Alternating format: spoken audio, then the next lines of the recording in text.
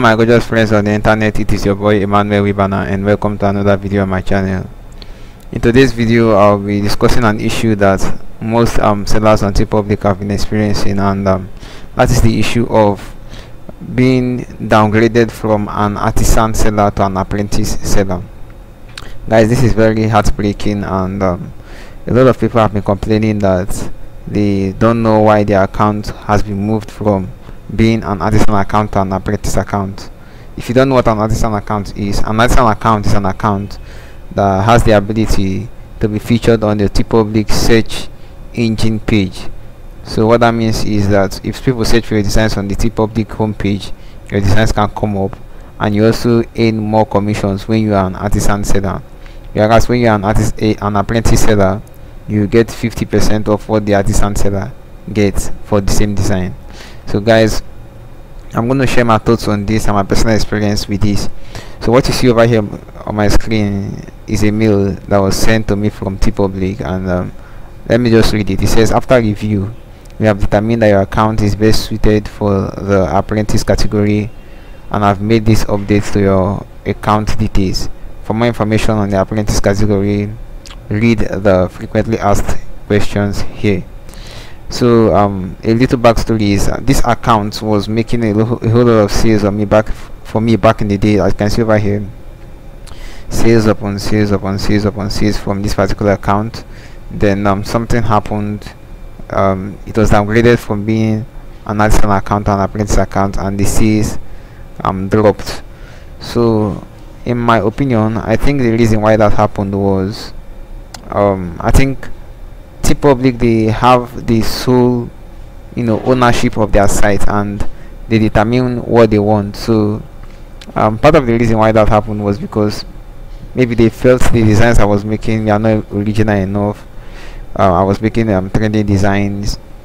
And but come to think about it if I don't make um, trendy designs how am I supposed to make sales? So I mean it's, it's not a logical um, decision on the side of because I mean they just keep banning people for no reason. I even know of a seller who has over 96,000 designs and um, uh, and they, they, they got moved from an artisan seller to an apprentice seller and they've had the account for over three years. I mean they are one of the few artists which I look up to and they were moved from being an artisan seller to an apprentice seller without any notice, without any prior information. And even when you send them a mail, they don't even give you anything tangible so guys with TeePublic you really um it is just um a kind of a win-lose situation. You could be winning today and tomorrow your account is gone. So if you are someone who have been moved from an um, artisan account to apprentice account well don't take it to heart because i mean it's, it's something random. It happens to almost everybody. The only edge against this is um kind of create your own brand create your own designs do your own marketing. But yeah, personally if i have to do my own marketing and create my own brand and you know create my own designs and try to make them viral maybe by paying um I mean, celebrities or you know influencers then i wouldn't be selling on TeePublic in the first place. So guys that's the situation with this. So if you're someone who was moved from artisan to a apprentice account well just take it. But um like i told you the only way to you know to edge yourself against this is create original designs. Don't follow trends trends. Don't um you know create um don't don't create things based off what selling or don't create simple text based designs i mean.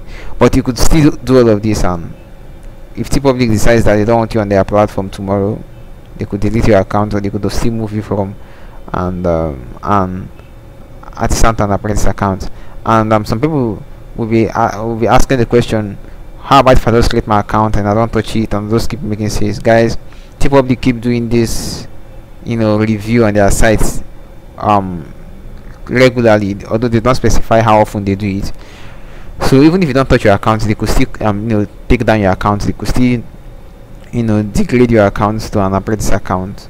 Even if you don't touch their account provided um they do a review and maybe they see one design that they feel is not original enough they could just take you down. So let's just go over um the TeePublic homepage and let me just share some insights with you. So what see over here are designs that are being featured by T um, TeePublic so you can see that um these are the kind of designs that they want on their platform these are the, they want original designs created by you. But the sad thing is if you start creating these designs you may not even get sales because no one goes to uh, TeePublic and start searching for battle tattoo no one goes and start searching for smoking skull i mean. So you have to still do the work of promoting your artworks you know go through the hassle. And if you have to go through all those hassles it's better you just create your own store and do your own promotions guys.